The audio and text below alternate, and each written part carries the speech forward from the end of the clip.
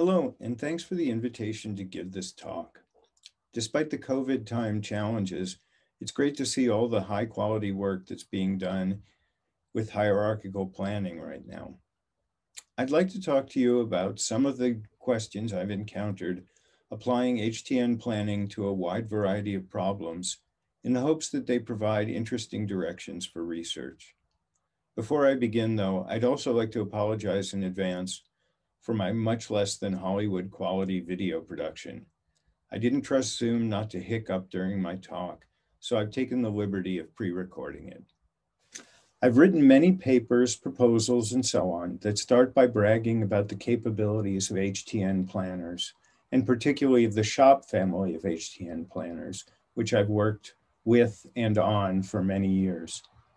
My bragging usually starts with the expressive power of HTN plans, building on the fact that an HTN can control the entire state trajectory a plan follows rather than only the start and end states. When I'm talking to people who care about applications instead of about planning, I usually explain that this lets them encode standard operating procedures and just because knowledge. In cases where you either want something done a particular way or there's something you want done even though you don't have a domain physics theory to specify why it is the right thing to do. In medicine, physicians call this empirical therapy. And in many cases, standard procedures involve things like maintaining a battery reserve that isn't an obviously goal-based thing to do. It's done because of something we know about the context in which our plans will be executed. The flip side of this claim is that there are relatively few applications that need the kind of puzzle mode thinking that modern first principle planners are so good at. So much so that we remark upon it when we find such an application. In my experience, for many applications, people don't even want you to find novel ways of solving a problem. Talking to users, they also often like the idea of decomposition of abstract tasks to more concrete subtasks. It's understandable to them in a way that, for example, forward heuristic search is not, and decomposition trees provide a form of explanation for the plan. There have been claims made off and on over the years that HTNs and HGNs can enable more efficient generally faster planning.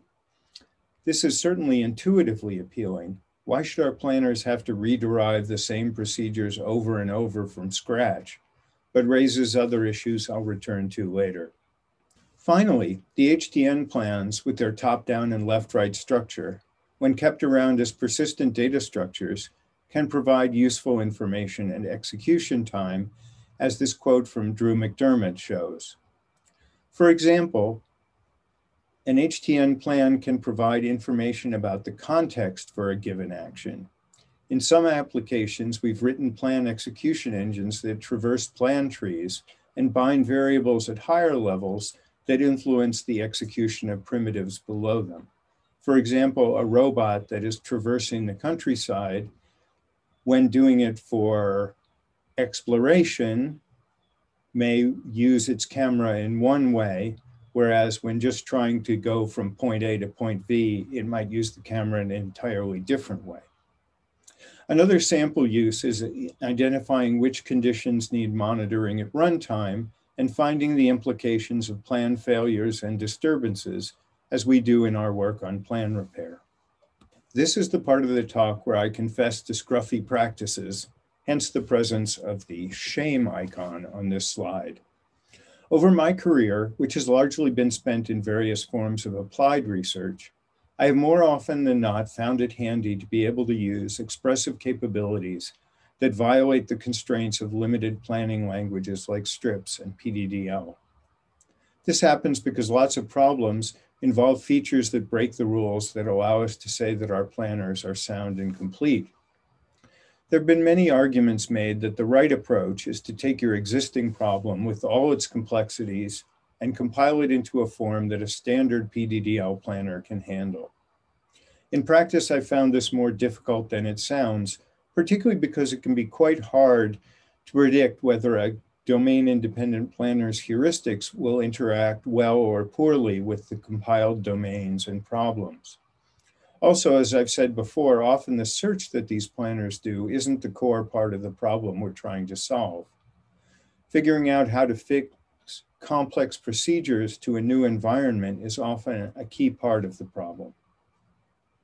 SHOP 3 is a lifted planner whose preconditions language has full Prolog expressive power and permits the invocation of arbitrary code in its preconditions. Because it does only state progression from one fully specified state to another, it can handle much more complex transition relations than partial order causal link planners. And indeed, Dana Nau has told me that planning for manufacturability with CAD systems was an important impetus behind the de development of the original shop planner.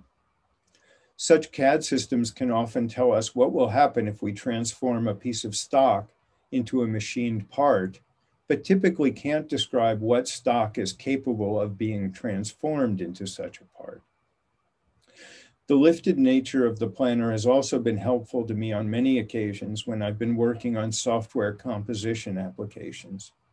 Such applications include problems like web services composition, Keith Golden's Unix softbot, planning image processing pipelines, and other data manipulation processes. In these domains, we often need to be able to manipulate things like strings and vectors, which is impossible in a PDDL style planner. Of course, one can build tables of entities and then encode and decode them. But as I said before, this begins to leave out the core of the problem.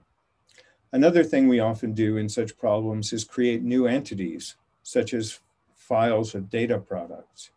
This violates the known domain of quantification constraint on classical planning, but typically doesn't do so in a way that is threatening.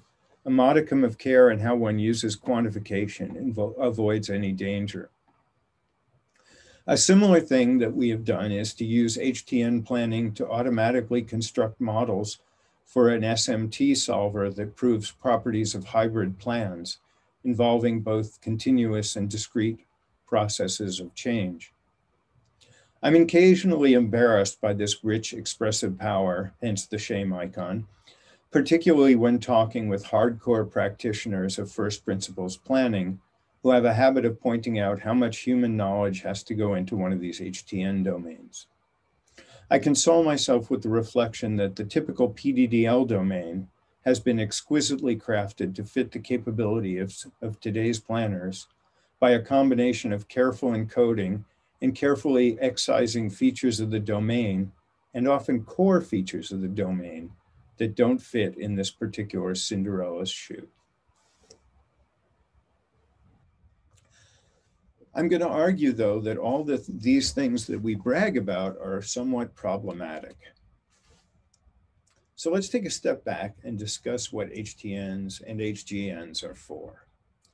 There have been really two different accounts of the purpose of these kinds of planners, and sometimes they get confused together. First, they can be tools to speed up search for solutions to conventional planning problems.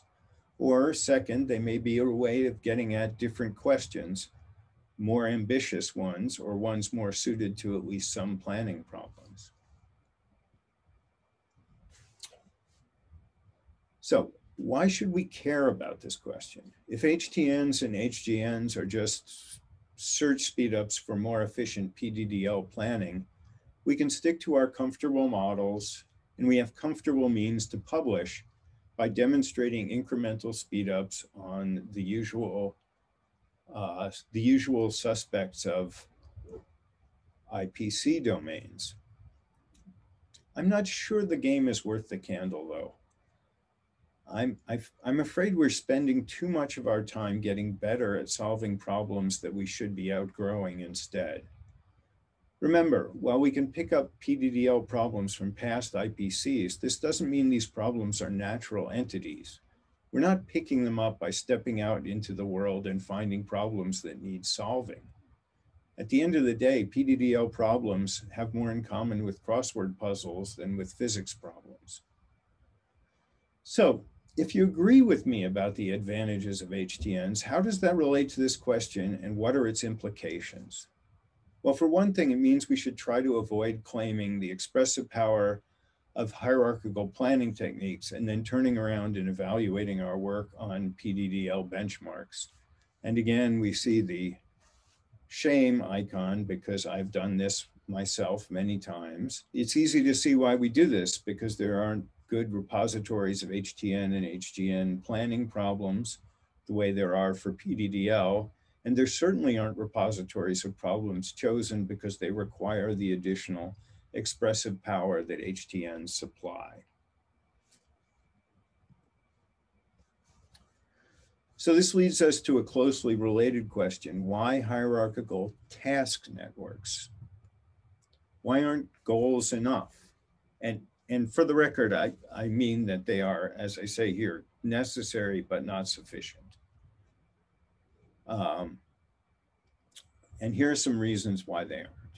First, from an applications perspective, I've over and over again found that when I talk to people about what they want a planner to do, and I repeat the usual injunctions about tell me what, not how, I still more often than not get a verb phrase, an action description instead of an end state description.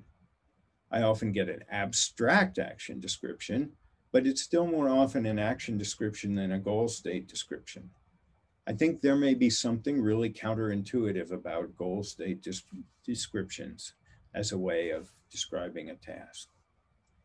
Second, we see over and over again that when we try to build a planning domain with goals alone, we end up encoding trajectory constraints into the state predicates. This is sketchy because it can make this procedural knowledge sort of vanish into the domain.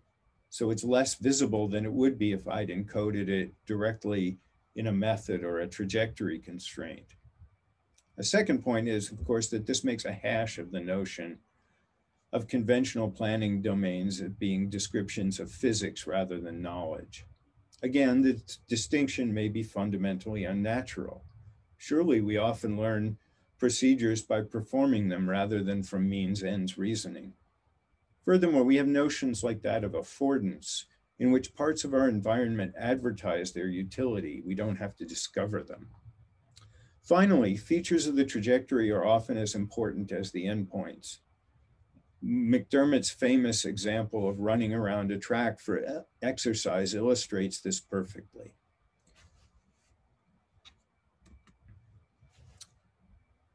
So if we want to plan tasks as well as finding paths to goals, we have three fundamental challenges. First, when HTN planners fail, they often fail very badly, either because they simply don't have the knowledge they need to find a solution to an unforeseen problem, or they have this knowledge, but they get hopelessly lost in the search space. This latter can happen because when designing the methods, we don't take adequate account of what the planner will do when its search falls off the straight and narrow path to the solution. This is a problem that we see in many varieties of system that rely on human knowledge, not just planners. Many systems involving search have the characteristics that they either find a solution quickly or they never do. There's no phase transition here as there is in artificial search problems. Two, we don't have much beyond testing and hope to draw on to know whether or not our planner will do the right thing given our domain model and a new problem. And finally, we don't have much of an execution semantics for our plans. Not one that says much more about whether we've executed the plan well or badly when we take it into the real world where the assumptions of classical planning don't hold. Since I introduced the issue of brittleness of HTN planners, this is a good point to say a word about hierarchical goal network planning. Hierarchical goal networks are a way to attack the first of the three challenges. If we can give our HTN decompositions meanings in terms of goals, then we can hybridize our decomposition planners with first principles planners and then if we don't have a method to handle an unforeseen situation, we can fall back on the first principles planner to fill in the gaps. So I'm going to raise some problems with HGNs, but I should stop here to say I, I really like this work and I think it's a very good thing and on the right track. I would just like to suggest some ways to make further pro progress. So the key issue is that by limiting themselves to goals rather than tasks, HGNs sacrifice the expressive power that HTNs offer. You can't limit the set of plans the way an HTN planner does if you allow a classical planner to insert operators anywhere it wants to. Now, if you're familiar with the HGN work, you might object that there's a proof that an HGN planner can do anything an HTN planner can do, so my claim can't be right. Actually, we're both right. An HGN planner can do anything an HTN planner does, but only by adding new facts to represent task performance to the set of propositions of the model. So we can simulate an HTN planner with an HGN planner, but only at the cost of giving up the advantages of HGN planning. The three challenges to HTN planning all follow from the core mystery at the heart of HTN planning. What do HTN tasks mean? So why is this so important? Well, for one thing, if we want to incorporate search techniques from first principles planners with action insertions that are not from task decompositions, we must have some account of what it means to insert an external task into a task network when it's appropriate and when it's not appropriate. For another, as we think about plan repair and replanning and other execution issues, we need to know whether a plan is repairable at all or is damaged beyond repair. Finally, if we're going to use HTN planners to suggest courses of action, we'd like to know if they're going to do the right thing or not. So what are some problems with our existing theoretical results? First, we often use convenient, less expressive formalisms when proving results about our tools. Our own work on plan repair has at least started out this way, hence the shame icon again, although we are working to extend our analysis to more complicated planning models. Another problem is that some of our analyses beg the question that we might hope they answer, as our two quotes imply. Vikas puts this very well. In HTN's, tasks were treated as abstract symbols with no intrinsic meaning. They derived their semantics from the methods that decomposed them. So these results tell us only that we make de derivations correctly, not that we can use those derivations to solve problems that we have. It's my considered opinion that our community will benefit from a research program that aims to give an independent semantics for HTN tasks and methods, and indeed for procedures in general. This will give us non-circular ways of answering questions about the intrinsic meaning of the tasks in our task networks. I've listed three desiderata here. First, since HTNs are distinguished by their control of state trajectories, the semantics must concern itself with trajectories. Second, the semantics should support correctness checking. And finally, it should be tied to plausible accounts of plan execution and plan construction. The former plan execution, I think is relatively obvious. The second, plan construction, is a little bit less so. But I'll try to make the case to you that methods should not only be correct, that is, behave in accordance with task models when they're executed, but also useful in helping the planner construct plans. Otherwise, in the worst case, we could view a method that is completely sterile, that is never fully decomposed in a plan, as being correct, but only in the sense of being harmless A temporal logic is an obvious tool to build this semantics because temporal logics allow us to formally reason not just about states, but trajectories of states as well. And with modest extensions, we can bring the actions themselves within the scope of our theory. Modal propositional temporal logics are more than adequate to capture PDDL style domain dynamics. They typically provide modal operators such as eventually and globally, or always, which are built on more fundamental um, operators like until and in the next state. As an aside, there are two different kinds of modal temporal logics commonly used, linear temporal logic and branching time or computation tree logic that have subtly different expressive power.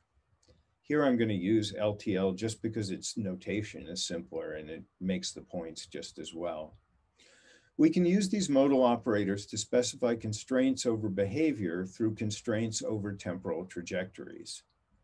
For example, here are some property classes that were identified by Laura Humphrey and her co-authors as useful in reasoning about mission planning. So first, there's a simple safety property. The UAV should never be near a power line. Second, the UAV should return home after its mission, but not before photographing. And third, the UAV should repeatedly visit and film regions P, Q, and R. Propositional temporal logics like this have been used extensively for modeling finite state machines, particularly for verifying digital hardware modeled as finite state machines. Model, model checking has been implemented either as unbounded model checking, where the checker computes, roughly speaking, the reachable space of a system's trajectories and compares it with the space of allowable behaviors, or bounded model checking where the checker simply searches for a finite length trace, generally a counterexample that shows a property is being violated. The key concept in both of these is the notion of bisimulation. This is a formal way of comparing two different state trajectories, generally where one is an abstraction of another. So for example, we can check to see if a concrete implementation realizes an abstract specification in this way. This is critical to giving an independent account of task semantics. Using the same techniques, we can check to see if a transition system could exhibit a behavior that will violate some trajectory constraint. The kind of verification that model checking systems can do is generally overkill for the kind of plans we make plans which run determination and which don't have branching or non-determinism. These techniques have generally been used to verify reactive systems like controllers or CPU components, which nominally run forever. For example, the first specification on the last slide, repeated visiting of a set of target sites, doesn't make sense in a classical linear plan, but it might make sense if you had um, a UAV that stayed airborne indefinitely. On the other hand, these logics are much less expressive in terms of the state of the world than we need for many planning applications, and they treat the transition relation as just atomic. So um, note, by the way, though, that model checking techniques can be incorporated and have been incorporated in planners. For example, Cimatti et al. used model checking style computations to develop techniques for cyclic planning in which a plan may need to run indefinitely to reach its goal. And similarly, I've worked with colleagues on the CIRCA state space planner, which generates timed control plans and a uses a timed automaton model checker. Let's give an example of how this kind of independent semantics could be useful. Imagine we're in a hospital and we have an intubation protocol that says that the initial carer cannot try to insert an IV in a patient more than twice. And if that doesn't work, they must get an expert to try. And after that, if that doesn't work, must try either a PICC line or a central line. We can translate this into a task definition that's independent of the HTN definitions in our plan library. The notation I've given here is a little indigestible, but we could assume that any real system there would have would have a some form of syntactic sugar to make specifications like this easier to read and write. Plan execution and plan repair are hard to get right without some independent task definition like this. What does it mean to intubate the patient successfully? Here we can see that the patient must end up intubated, but also that the way they get there must honor constraints that are intended to avoid injury and suffering. Consider how this changes the way we think about repairing plans. Most plan repair techniques assume that repairing a plan in execution is merely a matter of restoring some violated preconditions so that the plan has a new path to the goal state. Here, the task model would actually give, keep us from repeatedly going and getting IVs and trying to insert them. For example, if the patient has difficult to access veins. But note that this doesn't rule out trying more than once. We don't simply say you have to try a new method if the first one failed. This example shows that when we're repairing a plan, we should reject repairs that violate the task definition. And in some cases, we may have to give up the plan as irreparable. Some other ways we can use a model like this would be to enable us to decompose a unitary task model into components for easier authoring or maintenance and to check to ensure that when we've done this, those components can only be assembled in a way that honor the task constraints. We could also use this method to translate an HTN model into an HGN framework, since we could use the invariant to tell us what facts we would need to add to the state representation in order to remember them so that we generate only legal plans. Note there's already a bit of an HGN flavor here since the trajectory stops short successfully at any point when the patient is intubated. Thus, we capture the purpose of the task together with the trajectory that's required. What might we do if we wanted to extend these techniques to more expressive domain models? We'd like to be able to represent and reason about pretty complex states and transition relations, for example. In previous work, I've used Reiter's situation calculus for this purpose with the GOLOG extensions. The situation calculus is a first order temporal logic made up of states called situations that assign truth values to fluents and in which performing actions causes transitions from one situation to the next. This brings the situations and actions into one common framework that offers a number of useful features. Golog added features for composing together individual actions into program-like structures using constructs from logics of programming, including test, non-deterministic choice, parallel and sequential composition, and iteration. In a set of papers, Sheila McIlraith and her students provided translations of temporal sequence predicates like the ones in LTL into SITCalc giving us a framework capable of reasoning about HTNs. Actions can be represented in SITCalc successor state axioms. McIlraith and her students give us trajectory constraints like next, until, eventually, and always, and the GOLOG composition constructs let us capture the meaning of task networks. In this previous work, I've given an account of the way a shop plan could be executed that helps clarify the meaning of a number of HTN constructs, including method preconditions and protections, at least as used in SHOP, and an account of how SHOP generates plans. Together, these enable us to specify the desired meanings of tasks and at least theoretically verify the correctness of plans and methods. One important benefit this encoding could give us is the ability to reason soundly about what will happen when we extend our HTNs with new constructs. Of course, if we say you have all of Prolog and use it, then all bets are off. But if we, for example, use a small set of Prolog predicates or only in a limited way violate the finite, um, the finite domain constraint, we may be able to show that we can still be sound and complete at least relative to a particular plan library and class of initial states. While machinery like this is theoretically adequate, it's far from certain at this point that it can be cashed out into useful reasoning about HTN planners. I've been able to build some proofs primarily using tree induction, but it's been a fairly cumbersome process. it's clear that we would need some automation support for any theory like this to be of practical use. If nothing else, we'd need to be able to replay previous proofs when a plan library has changed in order to permit extension and maintenance of verified plan libraries. There are a number of Prolog implementations of the SITCalc and GOLOG that could be used to find trajectories given a set of constraints and a GOLOG program, like the ones I translated shop plans into.